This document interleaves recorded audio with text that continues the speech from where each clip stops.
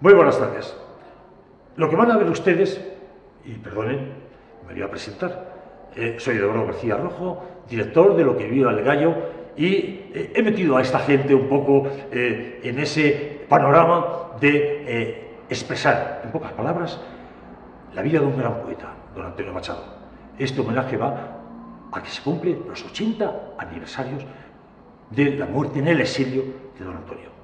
Simplemente es unas ráfagas de su paso por diferentes sitios, siempre cogiendo tren, siempre buscando el camino, sus cambios de poesía, su destrozo de amores, Leonor en Soria, dos años, un segundo amor, Guiomar en Segovia, viene a Madrid, empieza la guerra, tiene que marcharse a Valencia, de Valencia a Barcelona y de Barcelona al exilio. ¿Por qué?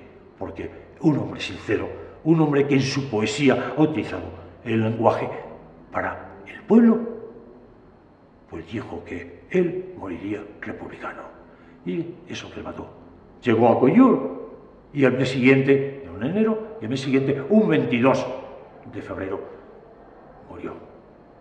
Murió en el 1939 don Antonio Machado. Viva la poesía. Y esa luz que vio al final se mantendrá toda su vida.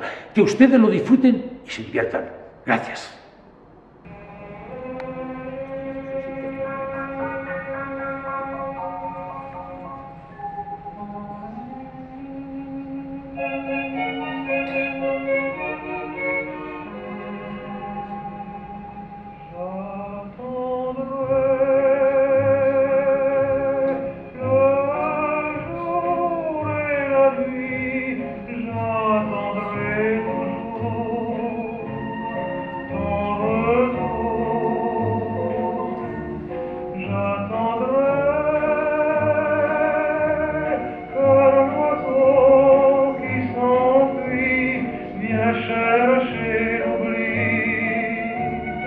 canzone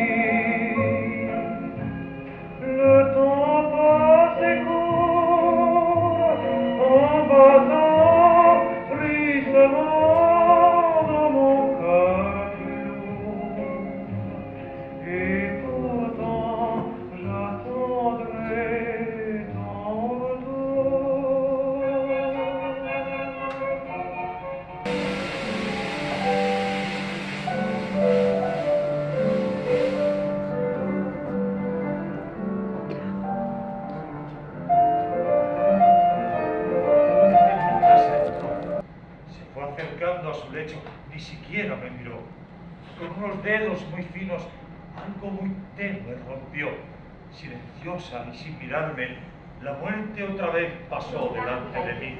Alguna sombra sobre el blanco muro, algún recuerdo en el trepil de piedra de la fuente dormida, o en el aire, algún bagaje de túnica ligera.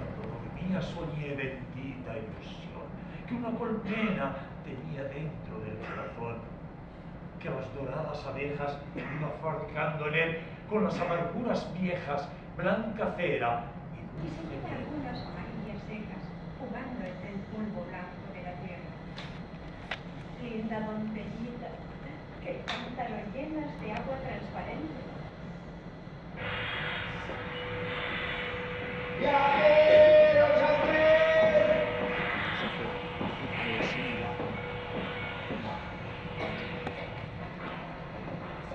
Yo para todo viaje, siempre sobre madera de mi vagón de tercera, muy ligero de equipaje, si es de noche porque no acostumbro a dormir yo, y de día por mirar los arbolitos pasar, yo nunca duermo en el tren, y sin embargo, voy Un día tan claro, es el cañón azul de su escopeta, y del tiro certero el humo blanco. Mi padre, en el jardín de nuestra casa. Mi padre, entre sus libros, trabajando. los ojos grandes, la frente... Colinas llenos de oscura maleza, encinares, pardas encinas, humildad y fortaleza.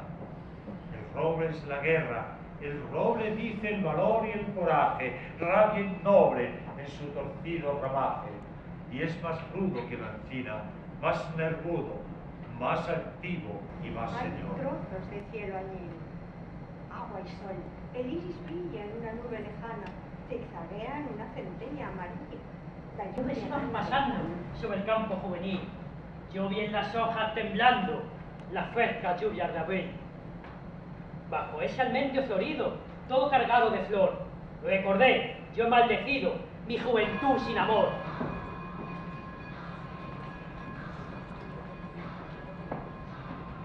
Lleva a la bandolera cuando va a caballo y lleva el caballo con la rienda suelta. Faltos conejillos. De Ramón Caracas. Ya Sanlúcar, desde Sanlúcar al mar, una barca de plata con los remos de coral, donde vayas marinero, contigo me has de llevar.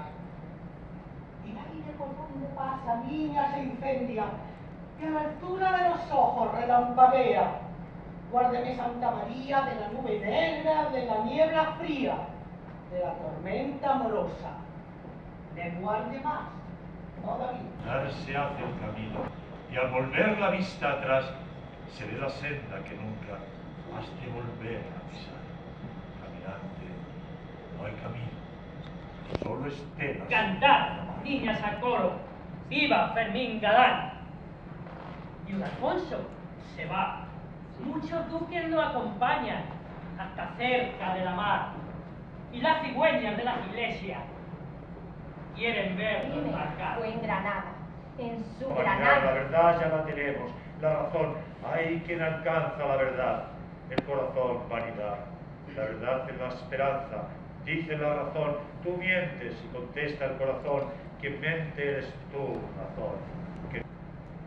Solo sé que moriré aquí, amortajado con otras brisas, con olores que no serán los de mi pueblo, el aire de los olivos, los de la tiza y el aula, los de Guiomar, el frescor, el aliento de un beso. Y cuando llegue el último día,